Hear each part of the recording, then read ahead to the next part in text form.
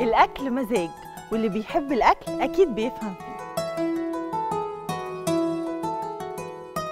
التوابل والزبدة سر الخلطة الحلويات والصواني والعزومات على كل لون. أفكار سهلة وأكلات مختلفة. والدعوة مفتوحة للي بيقدر الأكل اللذيذ. وبرضه ال diet ماليش فيه. اتفضلوا عندنا مع غادة جميل في الأوقات التالية على سي بي سي سفرة.